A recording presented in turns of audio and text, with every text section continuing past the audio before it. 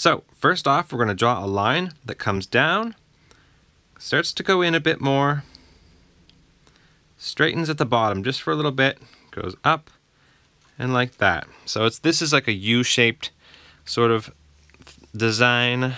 This is going to be her chin. We're going to draw like kind of like an easy chibi style. And we're going to keep on drawing. So we're going to draw some ears. So we'll start here. Draw some ears like that. One ear, two ear. Perfect. Now we're going to draw her hair. Um, so we're going to draw a line up and it's just going to come out a little bit because her hair is sometimes a little bit messy in a fun way. And then we're going to go up. This is going to be the part. And we're going to go up and over, swoosh, like that. And then we're going to put in a couple other little more zigzags here. And there's her hair coming down. Now we got to do the inside hairline. So we'll go like this, swoop, do a couple little zigzags. There's her hair and coming down, same thing. Perfect. Um, now I'm going to switch over to a fine marker to do some more detailed work. If you don't have a fine marker, you can use a black pen or even a pencil if you like, whatever you got, or just keep using what you already have. So we're going to draw her mouth. So we're going to draw a big sort of smile face like this, a big smiley face. And then we're going to connect it just by curving up a little bit and across. Now we're going to give her some teeth. There's some teeth and a tongue. Perfect. Now we're going to draw her nose. We'll just draw a nice little nose like that. And then we're going to move up and draw her eyes. So the eyes are going to be, we're going to start with two pretty much straight lines like that. Then we're going to draw some curved, big curves to connect on either side. There we go. Now we're going to draw the uh, colored part of her eye. Same thing, we're just going to do a big swoop. And now inside there, we're going to draw a pupil. So we just draw a circle. And then we're going to put a little circle drawn inside it, and then another little circle.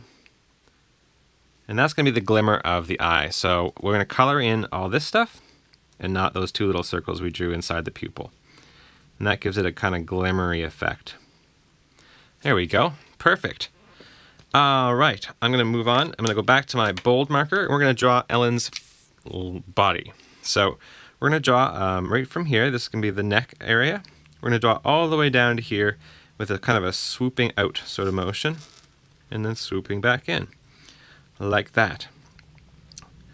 Now we're going to do the same thing over here. We're going to draw a line that's kind of the same triangular way.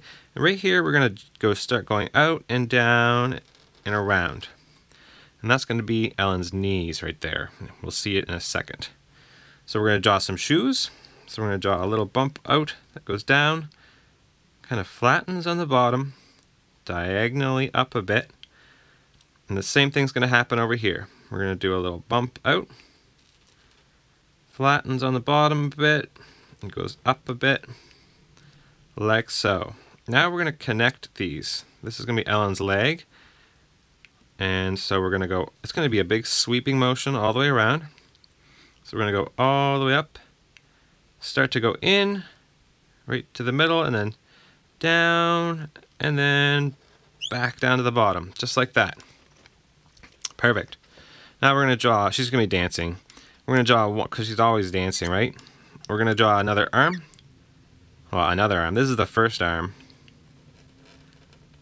So we're just to make it easy and draw a rounded sort of hand.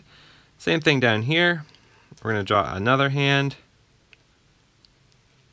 And then goes up. So there's our elbows. And now we're going to switch to a fine point marker again, or you can just keep using whatever you got. So we're going to give her some sleeves and a nice cuff. She often wears a suit. It could be uh, something going on there. We're going to give her a, a blazer top. So we're going to draw one line down and another line down. Make sure they get wider at the bottom. And then swoop it over. Swoop it over. Perfect. Now we're to do the uh, blazer like cuff, or I don't know what they call that, like the flare. I don't know. I'm not sure what they call this. It goes up, collar maybe, that like that. And then we do another little jut out and up.